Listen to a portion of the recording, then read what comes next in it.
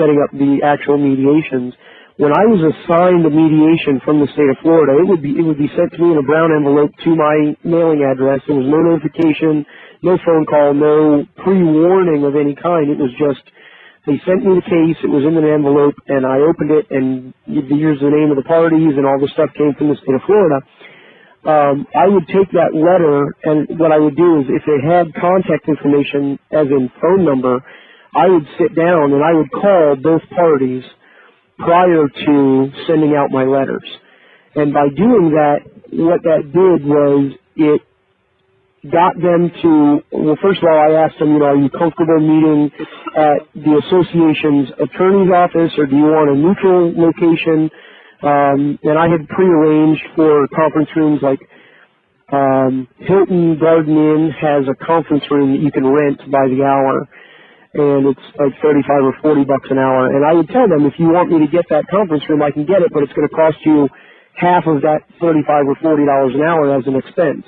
And then I would, you know, split it up between the two parties. And that only happened once or twice. Most of the time we met at the attorney's offices uh, for the homeowners association because it didn't cost the homeowner any additional money.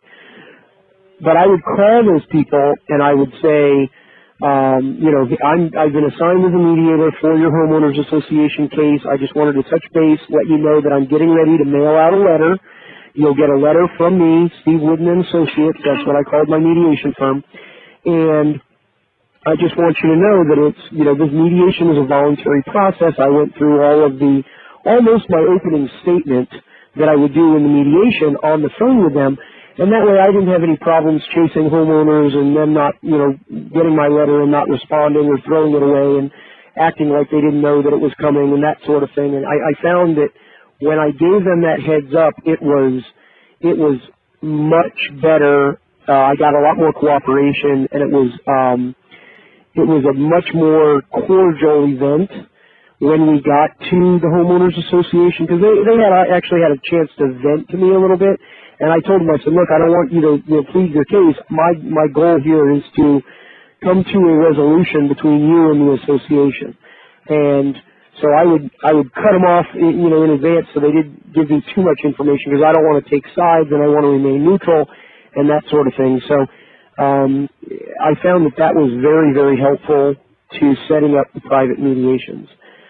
Um, we do also have another question. Um, what what other types of alternative advertising can you use or can I use to get my name out there other than business cards and going to associations? Uh, business associations really uh, joining the associations through the internet. I did everything almost for free, and I did it on the web. I joined associations, some of them for free, to put your name.